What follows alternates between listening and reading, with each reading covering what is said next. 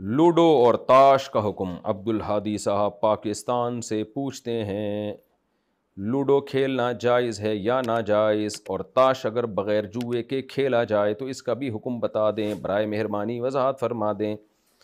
Ludo खेलना तो बिल्कुल जायज़ है, उसमें तो हँसी मज़ाक ही है और कुछ भी नहीं है। बाकी ताश खेलना, ये जायज़ है, मगर सख्त मकरू काम है। अगर जुए के बगैर खेला जाए, जुए के साथ खेला जाए तो फिर तो हराम है। जुए के बगैर भी खेला जाए तो ये कुछ लगता नहीं है कोई शरीफ लोगों का काम ये।